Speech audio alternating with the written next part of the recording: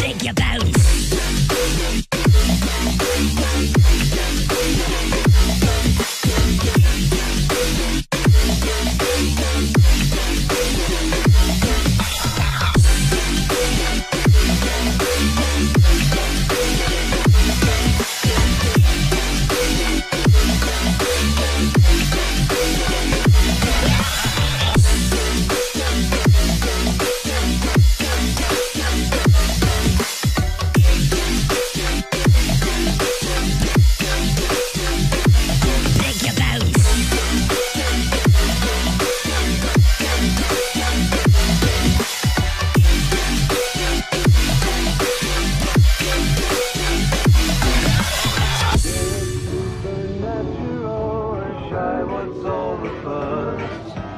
Bags of bones seem so unsafe, semi-serious.